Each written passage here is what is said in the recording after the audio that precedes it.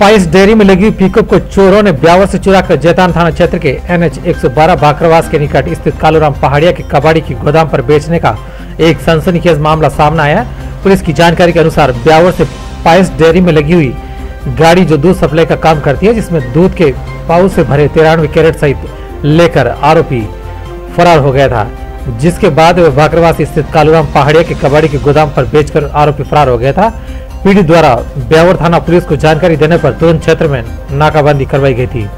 वही चोरी हुई पिकअप को जीपीएस ट्रैकिंग सिस्टम के ज़रिए गाड़ी की लोकेशन ट्रेस करके जैतान थाना पुलिस को सूचना दी गई, जिस पर जैतान थाना पुलिस ने पाइस डेयरी में लगी पिकअप को बाकरवास स्थित कबाड़ी के गोदाम से बरामद किया गया है। वहीं गोदाम से अन्य गाड़ियों के पुराने पार्ट्स भी पुलिस ने बरामद किए हैं। जैतान थाना पुलिस ने कालूराम पहाड़िया को गिरफ़्तार कर न्यायालय में पेश किया, जहाँ से कोर्ट के आदेश पर उसे जेल भेज दिया गया है। वही मामले में बेचने के आरोप में प्रेमपुरी पुत्र चेतनपुरी जुजन निवासी जो कि इस मामले में फरार चल रहा है, जिसकी पुलिस सरगर्मी से तलाश में जुटी है।